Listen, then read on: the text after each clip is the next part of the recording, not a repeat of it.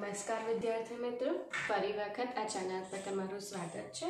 તો આજે આપણે ડિસ્કસ કરવા જઈ રહ્યા છે ક્વેશ્ચન નંબર થ્રી અને ફોર એક પોઈન્ટ એકનો અને એને રિલેટેડ જેટલી પણ થિયરી છે કન્સેપ્ટ છે, એ ધ્યાનમાં લઈ લઈએ. આના પહેલાં હું તમને એક ઇન્ફોર્મેશન આપી દઉં. આજે આ બીજો લેક્ચર હું શૂટ કરવા જઈ રહ્યો છું. તો મેક્સિમમ લોકો સુધી તમે આને શેર અને સ્પ્રેડ કરો. જેથી તમારા ક્લાસમાં જેટલા ભણે છે, એ બધાને આ વિકટ સમયમાં આ સારું એવું સફળ થઈને અને એમના ફ્યુચર માટે ઇમ્પોર્ટન્ટ થઈ જાય. માટે ચેનલને શેર અને સબસ્ક્રાઈબ કરો. તમને ખબર જ છે આ ચેનલ ઉપર દસમા ધોરણનું મેથ્સ સાયન્સ અગિયારમા ધોરણનું ઇંગ્લિશ અને ગુજરાતી મીડિયમનું ફિઝિક્સ અને મેથ્સ, અને બારમા ધોરણનું પણ ગુજરાતી અને અંગ્રેજી મીડિયમનું ઇંગ્લિશ મેથ્સ અને ફિઝિક્સ બંને સબ્જેક્ટ ચાલે છે. તો ચેનલને શેર અને સબસ્ક્રાઈબ કરો જેથી વધુમાં વધુ આનો લાભ ઉઠાઈ શકે. બરાબર? ચલો. તો આજે હું જિંકલ મેડમ ફરી એક વખત સ્ટાર્ટ કરવા જઈ રહી છું. ગણ, એનો બીજો લેક્ચર છે આજે. તો એમાં આપણે બે વસ્તુ ડિસ્કસ કરવાની છે. ગણ જે છે, એને બે રીતે દર્શાવી શકાય છે. એક તો છે યાદીની રીત અને બીજી છે ગુણધર્મની રીત. હવે આ યાદીની રીતમાં શું કરવાનું છે અને ગુણધર્મની રીતમાં શું કરવાનું છે એ આપણે જોઈ લઈએ. તો જો, ઘરને દર્શાવવાની બે રીત છે. એક છે યાદીની રીત અને બીજી છે ગુણધર્મની રીત તો પહેલી જઈએ આપણે યાદીની રીત આ રીતમાં બધા જ ઘટકોની યાદી બનાવાય છે. જેમ કે મેં તમને કાલે જ કહ્યું હતું કે આપણે અત્યારે રામાયણ જોઈએ છે. તો એમાં રામના ભાઈઓનો ગણ. તો આપણે શું લખાય? છગડિયા કૌંસમાં એની યાદી, એટલે કે એના ભાઈઓના નામ લખીએ છીએ, ભરત, લક્ષ્મણ અને શત્રુઘ્ન. તો એ યાદીની રીત થઈ, બરાબર? કે શું કરવાનું? તો કે બધા ઘટકોની શું બનાવવાની? યાદી. બીજું, બે ઘટકો વચ્ચે અલ્પવિરામ અને ધનુષ કૌંસમાં મુકાય છે. એટલે બે ઘટકો લખ્યા. એટલે કે મેં નામ લખ્યું ભરત અને શત્રુઘ્ન. તો એ બંને ઘટકો કહેવાય. એની વચ્ચે શું મૂકવામાં આવે છે? અલ્પવિરામ. અને આજુબાજુ શું કરવામાં આવે છે? છગડીયો કૌંસ. ક્લિયર ચલો, એના પછી શું કહ્યું છે? આ રીતમાં ક્રમનું મહત્વ નથી. એટલે કે હું ભરતને પહેલાં લખું, કે લક્ષ્મણને પહેલાં લખું, કે શત્રુઘ્નને પહેલાં લખું. ત્રણમાંથી જેને પહેલાં લખું એ ચાલી શકે. બીજા નંબર પર તમે જેને લખવું હોય તેને લખી શકો છો. ક્રમનું કોઈ પણ જાતનું મહત્વ નથી. ચલો, એના પછી શું કે છે આ રીત ઘટકોનું પુનરાવર્તન કરવામાં આવતું નથી. એટલે કે ભરતને બે વખત ના લખી શકાય, લક્ષ્મણને બે વખત લખી શકાય નહીં. કોઈ પણ વ્યક્તિનું નામ એક જ વખત ગણની અંદર લખવામાં આવે છે. છગડિયા કૌશમાં એકની એક વસ્તુ રિપીટ કરાતી નથી. ચલો નેક્સ્ટ છે. મેં ઉદાહરણ લીધું છે. કોઈ મને કહે છે કે એવો ગણ છે, જેમ કે અંગ્રેજી મૂળાક્ષરોમાં સ્વરો. અંગ્રેજી મૂળાક્ષરમાં આવેલા સ્વરો, એને ગણ સ્વરૂપે યાદીની રીતે લખો. તો હું શું કરીશ? પહેલાં ધનુષ કૌંસ એટલે કે છગડીયો કૌંસ અને વચ્ચે પાંચ સ્વર છે, તમને ખબર જ છે એની અંદર. એ, આઈ, ઈ, ઓ અને યુ. તો એ બધાની વચ્ચે અલ્પવિરામ મૂકવાનો રહેશે. આ બે ઘટક વચ્ચે અલ્પવિરામ આવી ગયું બધાને ધનુષ કૌંસની વચ્ચે લખવાના છે. તો અહીંયા યાદીની રીત પૂર્ણ થાય છે. ક્લિયર હવે બીજી રીત છે ગુણધર્મની રીત. પછી એના દાખલા છે. આમાં બે ટાઈપના દાખલા છે. યાદીને ગુણધર્મની રીતમાં ફેરવો અને ગુણધર્મની રીતે ગણ આપેલો હોય તો યાદીની રીતે ફેરવો. બરાબર? તો ગુણધર્મની રીત જોઈ લઈએ. પછી એકબીજામાં આપણે શું કરવાનું છે? ટ્રાન્સફર કરવાનું છે. ચલો ગુણધર્મની રીત. આ રીતમાં બધા જ ઘટકો એક સામાન્ય ગુણધર્મ ધરાવે છે. ધારો કે હમણાં જો બોલી, અંગ્રેજી મૂળાક્ષરોના સ્વર. તો એક ગુણધર્મ કયો થયો? એક તો અંગ્રેજી મૂળાક્ષરો છે અને પાછા બધા કયા છે? સ્વર છે. બરાબર? તો એક ગુણધર્મ થયો. નેક્સ્ટ ગણના સભ્ય માટે છગડિયા કૌંસમાં એક્સ વાય ઝેડ એવા નાના અક્ષરો, સ્મોલ લેટર્સનો ઉપયોગ કરી અને એના પછી કોલન કરવામાં આવે છે. એટલે તમારે એક્સ લખવાનું, કાં તો વાય લખવાનું, કાં તો ઝેડ. તમે કોઈ પણ એક સિલેક્ટ કરી શકો અને એના પછી કોલન લખવાનું છે. ત્યારબાદ એક સામાન્ય ગુણધર્મ લખવામાં આવે છે. આટલું એક્સ કોલન પછી એમનું શું લખી દેવાનું ગુણધર્મ?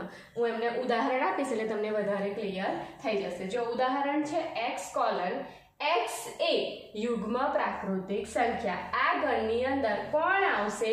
તો કે એવો એક્સ આવશે જેનો ગુણધર્મ શું હશે? એ યુગ્મ પ્રાકૃતિક સંખ્યા હશે. બરાબર? જેમ કે આ ગણને તમારે લખવું હોય તો શું લખી શકાય? તો કે એક્સ કોલન એક્સ એ અંગ્રેજી મૂળાક્ષરોના સ્વર. તો આ થઈ ગયું ગુણધર્મની રીત કે જેની અંદર તમે એક્સ વાય ઝેડ ત્રણમાંથી ગમે તે એકને સિલેક્ટ કરો. એ લખો, પછી એના પછી કોલન પછી ફરી એ જ વસ્તુ. અને એ કોણ છે? એની તમારે ઓળખ આપવાની છે. યાની કે એનું શું લખવાનું છે? તમારે ગુણધર્મ. ક્લિયર તો મને એવું લાગે છે ત્યાં સુધી તમને ગુણધર્મની રીત અને યાદીની રીતમાં ખબર પડી ગઈ હશે. હવે બે દાખલા આપણે જોવાના છે. એક દાખલામાં ગુણધર્મની રીત આપી છે અને યાદીની રીતમાં તમારે એને ફેરવવાનું છે અને બીજા દાખલાની અંદર યાદીની રીત આપેલી છે અને ગુણધર્મની રીતમાં ફેરવવાનું છે. હવે મને એવું લાગે છે ત્યાં સુધી હું પહેલાં ગુણધર્મની રીતવાળા દાખલા લઈ લો કે એને યાદીમાં કેમનું ફેરવાય. એટલે તમને પણ આઈડિયા આવી જાય કે ગુણધર્મની રીતે લખવું કઈ રીતે? એટલે પહેલાં હું એવા લઉં છું કે જેમાં ટેક્સ્ટબુકની અંદર ગુણધર્મની રીતે આપેલા છે અને યાદીમાં ફેરવવાના. પછી યાદીને આપ્યા હશે તો તમને ખબર પડી ગઈ હશે પાંચ છ દાખલા કરીને કે ગુણધર્મની રીતે કેવી રીતે લખી શકાય. તો પછી એના દાખલા લઈશું, બરાબર? હું એવી રીતે વીડિયો બનાવીશ મિત્રો કે જેથી તમને સમજવામાં ખૂબ જ સરળતા રહે. કારણ કે આ જે લેંગ્વેજ છે મેથ્સમાં અત્યાર સુધી તમે લેંગ્વેજના ચેપ્ટર સંભાવના સિવાય કોઈ પણ ભણ્યા નથી. બરાબર? મેથ્સમાં લેંગ્વેજ બહુ ઇમ્પોર્ટન્ટ છે. કારણ કે અનેનું અથવા થાય ને તોય મેથ્સમાં એનો અર્થ બદલાઈ જાય છે. એટલા માટે તમારે લેંગ્વેજવાળા ચેપ્ટરમાં થોડું ઘણું મહેનત વધારે કરવી પડશે. ક્લિયર ચલો. તો હવે છે નીચેના ગણને યાદીની રીતે લખો. મેં તમને કહ્યું એ મુજબ મેં કેવી રીતે લીધું છે? તો કે પહેલાં ગુણધર્મની રીતે જ લીધી. એ તમને આઈડિયા પણ આવી જાય કે ગુણધર્મમાં કેમનું લખાય, શું શું લખવાનું હોય. બરાબર? ચલો, તો પહેલો ગુણધર્મ શું કે ગુણધર્મની રીતમાં કેવી રીતે કન્વર્ટ કરીશું? એક્સ કોલન એક્સ એ પૂર્ણાંક છે અને એ એક્સ એ માઇનસ ત્રણથી મોટો છે અને સાતથી નાનો છે. આ દાખલા કરવા માટે પહેલાં પહેલું તમને સંખ્યાઓનું તમામ નોલેજ હોવું જોઈએ. નહીં તો તમે આને બરાબર લખી શકતો, શકશો નહીં. તેમજ લેસ દેન ગ્રેટર દેન નાની નાની વસ્તુ બહુ જ અગત્યની છે, અને અથવા વગેરે. આના માટે તમારે લેક્ચર વન કમ્પલસરી જોવો પડશે, કારણ કે તમામ સંખ્યાઓ કેવી રીતે શું કરવાનું છે, કેવી રીતે ઘણ સ્વરૂપે લખાય છે, મેં લેક્ચર વનમાં તમને સમજાવી દીધું છે, બરાબર? તો અમે કઈ સંખ્યા પૂછી છે? પૂર્ણાંક. હવે તમને ખબર હોવી જોઈએ, પૂર્ણાંક એટલે જીરો, પ્રાકૃતિક અને ઋણ પૂર્ણાંકો. આ ત્રણ વસ્તુ ભેગી થાય ત્યારે પૂર્ણાંક સંખ્યાઓ બને છે. ઋણ સંખ્યાઓ, જીરો અને ધન સંખ્યાઓ. પણ કઈ? ધન પ્રાકૃતિક. પ્રાકૃતિક તો ધન જ છે, તમને ખબર જ હશે. ક્લિયર ચલો. તો એવી એક્સ કે જે માઇનસ ત્રણથી મોટી અને સાતથી નાની. તો માઇનસ ત્રણથી મોટી એટલે માઇનસ ત્રણ પહેલાં કોણ આવશે? માઇનસ બે. પછી માઇનસ એક. પછી પૂર્ણાંક હોવાથી જીરો પછી એક, બે, ત્રણ, ચાર, પાંચ. ક્યાં સુધી જઈશું આપણે? સાતથી નાની સંખ્યા બધી જ લખવાની છે. સાત લખવાના નથી. પાછું પૂર્ણાંક એટલે પોઈન્ટવાળી આવશે નહીં. ચલો, તો સાતથી નાની છેલ્લી પૂર્ણાંક સંખ્યા કઈ છે? છ. બરાબર? તમામ સંખ્યાઓના ગણ વિશેની માહિતી લેક્ચર વનમાં અવેલેબલ છે. જો સમજણ ના પડતી હોય, તો લેક્ચર વન તમે જોઈ શકો છો. નેક્સ્ટ છે એક્સ કોલન એક્સ એ છ કરતાં નાની પ્રાકૃતિક સંખ્યા. કઈ સંખ્યા પ્રાકૃતિક? અને બીજો ગુણધર્મ કયો? એ છ કરતાં નાની હોવી જોઈએ. ચલો, તો પ્રાકૃતિક સંખ્યા તમને ખબર હશે ક્યાંથી સ્ટાર્ટ થાય છે? વિદ્યાર્થી મિત્રો, એકથી. તો ચલો, એક, બે, ત્રણ, ચાર અને પાંચ. છ કરતાં નાની કયું છે? છ ને લેવાના નથી. આ તમને એવું કહ્યું, છ અને એનાથી નાની પ્રાકૃતિક સંખ્યા. તો આ ગણની અંદર છ નો સમાવેશ થશે. પણ ખાલી છ કરતાં નાની કયું છે? એટલે આમાં છ નો સમાવેશ થશે નહીં. તો અહીંયા છેલ્લી નાની સંખ્યા છ કરતાં નાની કઈ આવશે? પાંચ. ચલો, આ પ્રત્યેક સંખ્યા છ કરતાં કેવી છે? નાની છે, તેમજ પ્રાકૃતિક પણ છે. બરાબર? ચલો, નેક્સ્ટ જોઈએ આપણે ત્રીજો દાખલો. એક્સ કોલન એક્સ એ જેના અંકોનો સરવાળો આઠ હોય તેવી બે અંકોની સંખ્યા. ચલો, પહેલા પહેલું ફોકસ કરવાનું છે. બે અંકોની સંખ્યા. એટલા માટે એક અંકની તમામ સંખ્યાઓ નીકળી જશે. એટલે કે એકથી લઈને નવ સુધીની. બરાબર? તો દસથી સ્ટાર્ટ થશે બે અંકની સંખ્યા અને એ બે અંકોનો સરવાળો આઠ થવો જોઈએ. તો તમને આઈડિયા આવું જવો જોઈએ. પહેલું કોણ આવશે? અગિયારથી વીસમાં સત્તર. કેમ? એક વત્તા સાત શું થશે? આઠ. આપણે એક એક લાઈન પકડવાની છે અને પછી તમને આઈડિયા આવી જશે કે એમાં કયા બે અંકોનો સરવાળો આઠ થશે. તો અગિયારથી વીસમાં પહેલો અંક સત્તર છે, જેનો સરવાળો શું થશે? આઠ. એક વત્તા સાત. બરાબર? તો પહેલું કોણ આવશે? સત્તર. કેમ સત્તર? એટલે વન પ્લસ સેવન, એટ. સરવાળો આઠ થઈ ગયો. ચલો, હવે શું કહ્યું છે? એકવીસથી ત્રીસ આવશે. એકવીસથી ત્રીસમાં કયો એવો અંક છે, જેનો સરવાળો આઠ થાય? છવ્વીસ. કેમ? બેન છ શું થશે? આઠ. ચલો, હવે એકત્રીસથી ચાલીસ પકડો. તો એમાં કોણ આવશે? પાંત્રીસ. કેમ? ત્રણ ને પાંચ કેટલા થાય? આઠ. ચલો નેક્સ્ટ પછી કોણ આવશે? એકતાલીસથી પચાસ. એમાં કોણ આવશે? બેતાળીસ. કે જેનો સરવાળો શું થાય છે? ચાર ને સોરી બેતાળીસ નહીં આવે. શું આવશે? ચુમ્માળીસ. ચાર ને ચાર શું થશે? આઠ. ચલો, એના પછી કોણ આવશે? એકાવનથી લઈને સાહીઠની અંદર. હવે ઊંધું થશે, જુઓ. પાંત્રીસનું ઊંધું શું થઈ જશે? ત્રેપન. તો અહીંયા શું આવી જશે? ત્રેપન. ચલો, હવે એકસાઠથી લઈને સિત્તેરમાં આનું ઊંધું. છ બે આઠ થશે, એટલે બાસઠ આવી જશે. નેક્સ્ટ શું આવશે? ઇકોતેર. કેમ? સત્તરનું ઊંધું.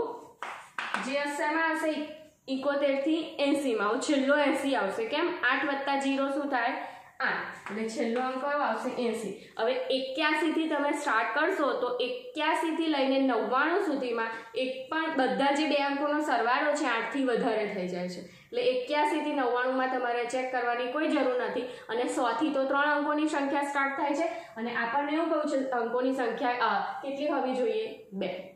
બરાબર? તો આ બધા જ ઘટકો આપણા ઘરની અંદર આવશે. તો વન બાય વન આપણે લખી દઈએ. પહેલો ઘટક આવશે સત્તર, પછી કોણ આવશે? છવ્વીસ, પાંત્રીસ, ચુમ્માલીસ, ત્રેપન, બાસઠ અને ઇકોતેર ને લાસ્ટ એસી. ચલો, તો જે આપણને ગુણધર્મો આપ્યા હતા એ તમામે તમામ ઘટક એ બે ગુણધર્મોનું પાલન કરે છે. એ ગણમાંનો પ્રત્યેક ઘટક એનું પાલન કરતો હોવો જોઈએ. બરાબર? ચલો નેક્સ્ટ છે. સાહીઠનો ધન અવયવ હોય તેવી અવિભાજ્ય સંખ્યા. બરાબર? તો હવે આપણે સંહિતના અવયવો પાડીએ મિત્રો. તો સંહિત એટલે બધાને ખબર હશે, છ ગુણ્યા દસ. હું ઇઝીમાં ઇઝી વેથી તમને સમજાવું છું. સંહિત એટલે છ ગુણ્યા દસ. હવે છ એટલે ત્રણ ગુણ્યા બે અને દસ એટલે પાંચ ગુણ્યા બે. જો સંહિત થઈ ગયું. ત્રણ દુ છ, પાંચ દુ દસ. છ ગુણ્યા દસ, સાહીઠ. હવે આમાંથી તમારે કયા લખવાના છે? અવિભાજ્ય.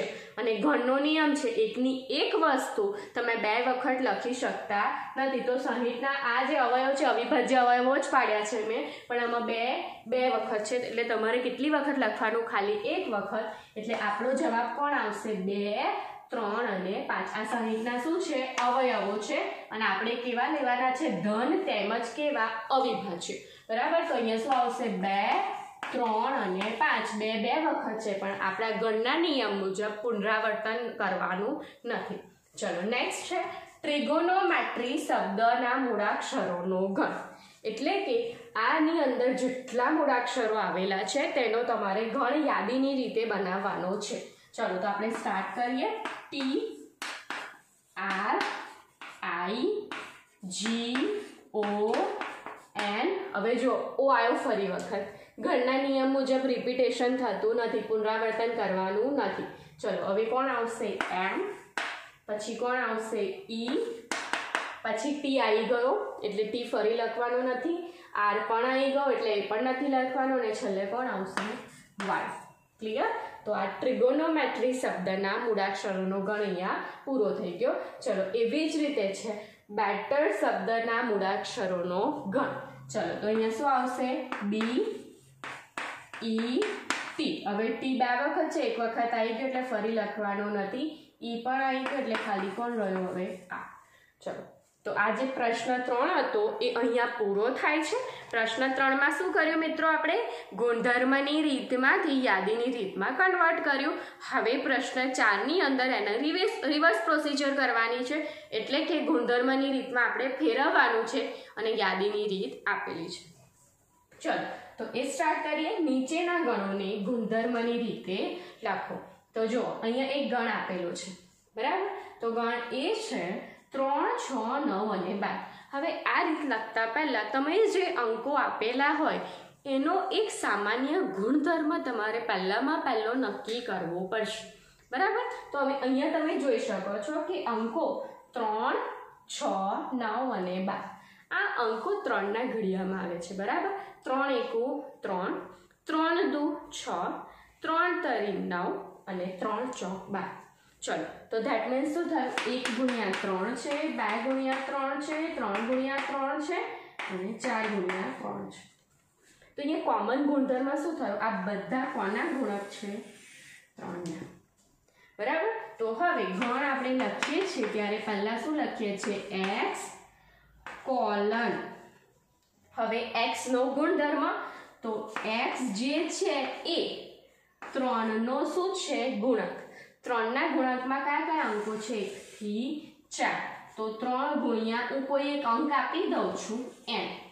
હવે આ એન જે છે એનું મૂલ્ય શું છે? એકથી ચાલુ કરીને ચાર સુધી, બરાબર? તો એકથી ચાલુને કરી આપણે અને ક્યાં સુધી લઈ જવાનું? ચાર.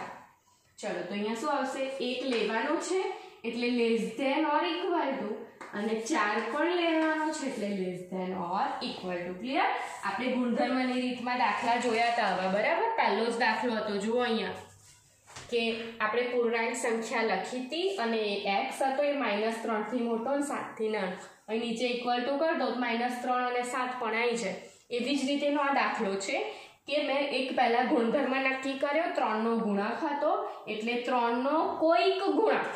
અને એ ગુણક કયો છે? તો એ ગુણકમાં એકથી લઈને ચાર અંક આવે છે. તો એક પણ લેવાનો, ચાર પણ લેવાનો, એકથી મોટી ને ચારથી નાની પણ લેવાની. બરાબર? ચલો. નેક્સ્ટ છે બી હવે અહીંયા તમે જોશો તો શું છે? બે, એકુ બે. બે, દુ, ચાર. બે તરી છ. એવું નથી અહીંયા. બરાબર? એટલે જે કન્સેપ્ટ ઉપર યુઝ થયો તો એ નથી થતો. તો અહીંયા શું છે? તમે વિચારી શકો. બેની એક ગત, બેની બે ગત બેની ત્રણ ઘાત બેની ચાર ઘાત અને બેની પાંચ ઘાત બરાબર? અહીંયા તમને ઘાતાંક ને ઘત જે બધા ચેપ્ટરો ભણ્યા છો, ઘન, મૂળ અને ઘન, એ બધા અહીંયા યુઝ થશે. એટલે બધાના કોન્સેપ્ટ તમારે બહુ સારી રીતે આવડવા જોઈશે. X colon, X A, X equal to. કોણ છે બેની ઘતમાં કંઈક છે? તો બેની ઘટમાં એન હવે જો, બેની એક ઘત, બેની બે ઘત, બેની ત્રણ, બેની ચાર ને બેની પાંચ. જે આ એન છે એકથી લઈને ક્યાં સુધી છે? પાંચ. અહીંયા શું લખીશું? જે એન છે સોરી અહીંયા પણ એન જ આવશે એક્સ નહીં આવે. અહીંયા પણ એન આવશે. એક્સની જે એનની જે કિંમત છે, એ એકથી લઈને ક્યાં સુધી છે? પાંચ. એટલે નીચે શું આવશે? ઇક્વલ ટુ એક પણ લેવાનો, પાંચ પણ લેવાનો ને એની વચ્ચેની બધી જ પ્રાકૃતિક સંખ્યાઓ. અહીંયા તમે બીજું લખી શકો છો કે એન બિલોંગ્સ ટુ શું છે મિત્રો? એન કેમ? પૂર્ણાંકનો પણ સમાવેશ થાય, તમારે લખવો પડે. એટલે અહીંયા એન બિલોંગ્સ ટુ એન પણ લખી શકાય. ક્લિયર ચલો, આ એન શું છે? પ્રાકૃતિક સંખ્યા ગણ છે. બરાબર? ચલો, એવી જ રીતે સી હવે અહીંયા જો પાંચ એકુ પાંચ. પાંચ દુ દસ. એટલે એ કોન્સેપ્ટ નથી પાંચની એક ગત પાંચની બે ગત પાંચની ત્રણ ઘાત અને પાંચની ચાર ઘાત એટલે અહીંયા જે હતું એ જ સેમ થશે. X colon X equals to પાંચની એન ઘાત જ્યાં એન જે છે, એકથી લઈને કેટલા? ચાર. જો એક ઘાત બે ઘાત ત્રણ ઘાત અને ચાર ઘાત તેમજ એન બિલોંગ્સ ટુ શું આવશે? એન બરાબર? ચલો ક્લિયર તમે એવું બી લખી શકો કે એન એ એક અને ચાર વચ્ચેની, એક અને ચાર તેમજ તેની વચ્ચેની પ્રાકૃતિક સંખ્યાઓ. શબ્દોમાં પણ લખી શકાય અને સંજ્ઞા સ્વરૂપે પણ લખી શકાય. ચલો. હવે બી છે. બે, ચાર, છ અને ત્રણ ડોટ. આ કયો અનંતગણ કહેવાય છે? એ આપણે નેક્સ્ટ લેક્ચરમાં ડિસ્કસ કરીશું. શાંતગણ અને અનંતગણ હવે એને કેવી રીતે લખીશું? કઈ સંખ્યાઓ દેખાય છે? જો યુગ્મ છે. અને ઋણ નથી. એટલે કેવી કહેવાશે પ્રાકૃતિક. કારણ કે એક પછીની છે. બરાબર? એટલે અહીંયા શું લખીશું? એક્સ કોલન એક્સ એ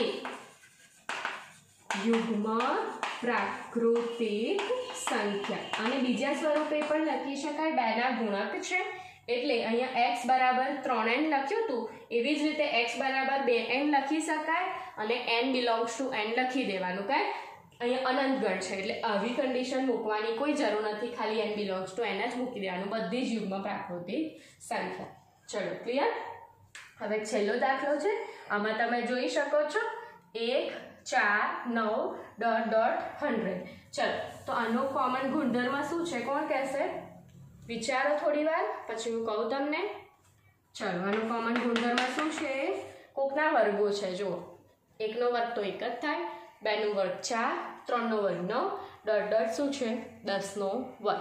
એટલે એકથી લઈને દસના વર્ગો આપેલા છે. તો અહીંયા આપણે શું કરીશું? ઘાતમાં ફિક્સ થઈ ગયું. ઘાતમાં બે ઘાત જ છે બધાની. તો જે ઘાતાંક અત્યાર સુધી બદલતા હતા, એની જગ્યાએ ઘાતાંક આપણે ફિક્સ કરવો પડશે. એક્સ બરાબર કોકની બે ઘાત? કોની? એનની એનની બે ઘાત. અને એન બદલાય છે હવે. એન શું છે? એકથી લઈને દસ સુધી. તેમજ અહીંયા એન જે છે એ તમારે શું લેવાનું છે? તો કે બિલોંગ્સ ટુ એન બરાબર? કારણ કે એક, ચાર નવથી સો સુધી છે. એટલે કોકના વર્ગ છે એકથી લઈને દસ સુધીની સંખ્યાના. એટલે બિલોંગ્સ ટુ એન લખી દેવાનું. કેમ? અહીંયા વચ્ચે એક પોઈન્ટ પાંચનો બે પોઈન્ટ પાંચનો એવા વર્ગ આપેલા નથી. એટલે બિલોંગ્સ ટુ એન લખવું જરૂરી છે. બરાબર? તો અહીંયા બે ટાઈપના ક્વેશ્ચન પૂરા થાય છે. ગુણધર્મની રીત અને યાદીની રીતના બંનેના એકબીજામાં કન્વર્ટ કરવાના. અને એના રિલેટેડ જે પણ થિયરી હતી, એ પણ પૂરી થાય છે. તો હું નેક્સ્ટ વીડિયો શૂટ કરું. ત્યાં સુધી આની સારામાં સારી પ્રેક્ટિસ કરી દો. જેથી આના પછીના જે બે પ્રશ્નો છે, પ્રશ્ન નંબર પાંચ અને પ્રશ્ન નંબર છ, એમાં તમને કોઈ પણ જાતની તકલીફ ના કરે. એટલે આનું સારામાં સારું પુનરાવર્તન કરી દો. ત્યાં સુધી આવજો.